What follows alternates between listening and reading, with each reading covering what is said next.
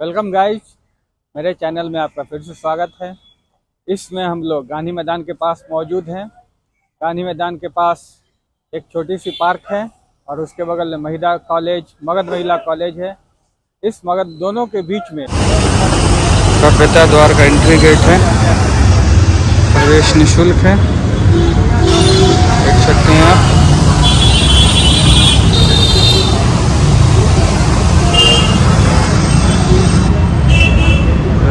सभ्यता द्वार ग्यारह बजे सौ बजे तक रहता है, सोमवार को बंद रहता है ये।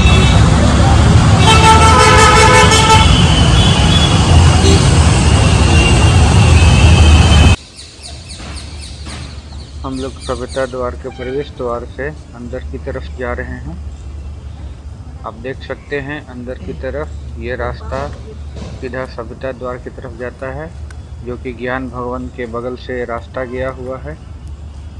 हम लोग अंदर चलते हैं और आपको दिखाते हैं सप्ताह द्वार।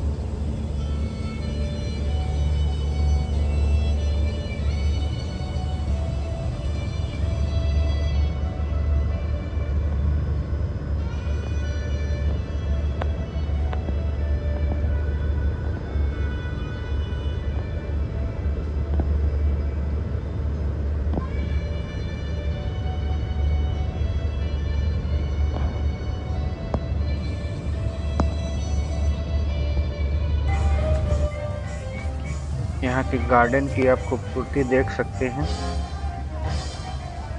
कितने ही खूबसूरत खूबसूरत फूल लगे हैं। चारों तरफ़ हरियाली दिखाई गई ये सभ्यता द्वार के सामने पूरा गार्डनिंग की हुई है। यहाँ बैठने की यहाँ पर बैठने का भी प्रबंध किया हुआ है। यहाँ बैठ सकते हैं। ये गंगा नदी के बगल में स्थित है ये सभ्यता द्वार। आप यहाँ पर शाम में एक चीज़ आकर आपको और दिखा सकता हूँ। नदी का भी आनंद ले सकते हैं। आप जो मेरे सामने देख रहे हैं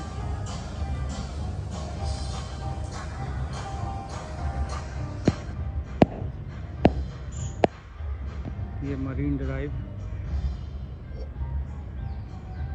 जो कि यहाँ से क्लियर व्यू दिख रहा है।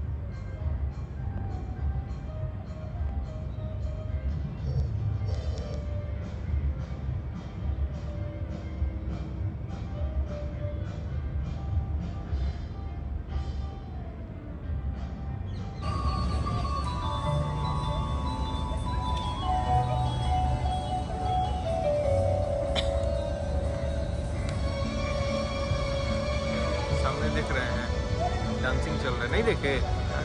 कितना बढ़िया रिकॉर्डिंग चल रहा था। साड़ी वाला देखिएगा डांसिंग चलेगा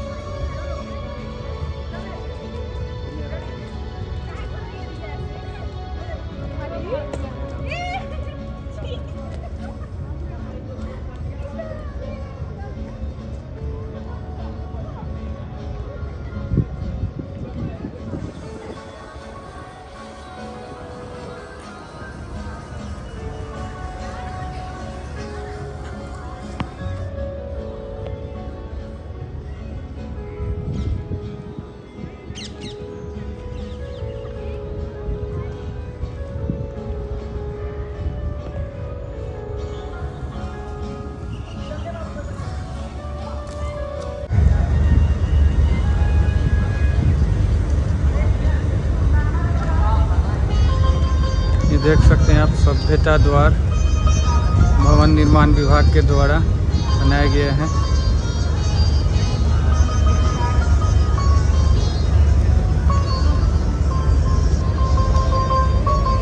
यहाँ की गार्डनिंग आप देख सकते हैं कितनी खूबसूरत है।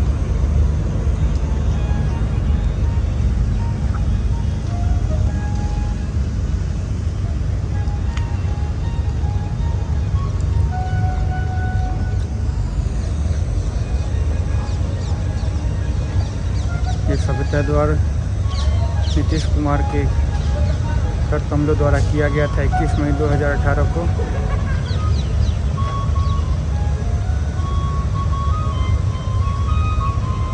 तो मैं आपको पूरा सभ्यता द्वार दिखाता हूँ।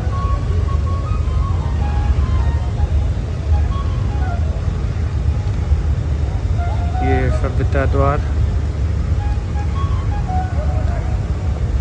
देख सकते हैं। भगवान बुद्ध के द्वारा बोली गई।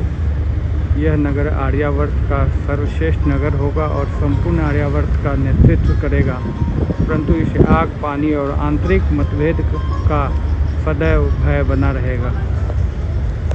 इधर आप देख सकते हैं, सम्राट अशोक द्वारा दूसरे धर्म का सम्मान करें, क्योंकि इससे अपने ही धर्म की प्रतिष्ठा बढ़ती है।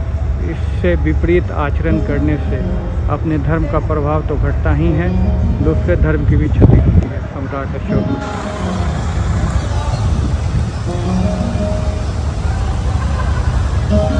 ये जो सभ्यता द्वार देख रहे हैं आप, ये गांधी मैदान के बगल में बापू सभागार या आप कह सकते हैं ज्ञान भवन के बगल से गेट नंबर एक से आप यदि अंदर आते हैं। तो इस सभ्यता द्वार के अंदर आप आ सकते हैं।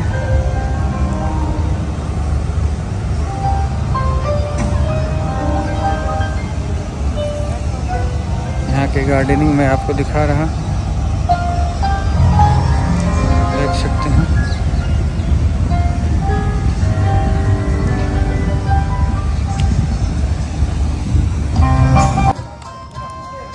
इसमें मौर्य वास्तुकला से निर्मित दो मेहराब हैं जिनके दोनों ओर एक छोटा मेहराब है। इस संरचना का निर्माण लाल और सफ़ेद बलुआ पत्थर से किया गया है। देख सकते हैं आप। हमको देखे मेहराबदार स्मारक के ऊपर एक छोटा स्तूप है जिस पर मिश्रित धातु से अशोक की चतुर्भुजा सिंह प्रतिमा टिकी हुई है। मेहराब की उत्तरी और दक्षिणी किनारों पर मेगास्थनीज अशोक बुद्ध और महावीर के शिलालेख भी लिखे हुए हैं। इस सभ्यता द्वार के ऊपर जो आप देख सकते हैं, अशोक की चतुर्भुजा जिसे हम लोग सिंह की प्रतिमा भी कहते हैं और हमारे देश की पार्लियामेंट के ऊपर भी ये चिन्ह लगा है, अशोक स्तंभ जिसे हम कहते हैं। आप गार्डनिंग देख सकते हैं, कितनी खूबसूरत है। चारों तरफ़ देखने से एक ही नज़ारा लगता है। पूरे फ्लावर को एक लेवल में ही रखा गया है, ताकि देखने से बहुत ही खूबसूरत ये लग रहा है। आप देख सकते हैं, सभ्यता द्वार को हम सभ्यता द्वार के नीचे हैं अभी हम। ये ऊपर जाने के लिए सीढ़ी है। ऊपर कर्मी भी जाते हैं और साफ़ सफ़ाई करते हैं। मैं आपको पूरा व्यू दिखा रहा हूँ सभ्यता द्वार का। इतना ही खूबसूरत है।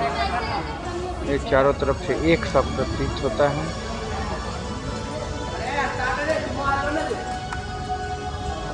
इसमें जो लाल पत्थर लगे हैं। इसको और भी खूबसूरत बताते हैं। तो सूरज की रोशनी पड़ती है तो इसकी कुछ और ही चमक रहती है। ये ऊपर जाने का रास्ता है। आम पब्लिक के लिए बंद रहता है। सफ़ाई कर्मी ही ऊपर जा सकते हैं।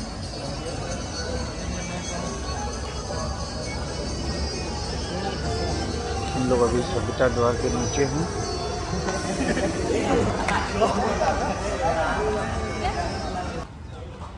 गेटवे ऑफ़ इंडिया जैसी संरचना, जैसी आपने बिहार सभ्यता द्वार को देखा बिहार सभ्यता द्वारा आपको कैसे लगा, ज़रूर कमेंट करके बताएँ। ये जो आप रास्ता देख रहे हैं, ये रास्ता बिहार सभ्यता द्वार से बाहर जाने की तरफ़ रास्ता है, जो कि ज्ञान भवन के बगल से जा रहा है। इसी रास्ते से आप एंट्री कर सकते हैं और इसी से एग्जिस्ट करते हैं। आप देख सकते हैं, सामने आपको मेन रोड भी दिखाई देगा। इसी सड़क से आप यहाँ प्रवेश कर सकते हैं। मैं चाहूँगा आप ज़रूर आएँ और यहाँ कविता द्वार को देखें। हमारे लिए ये गर्व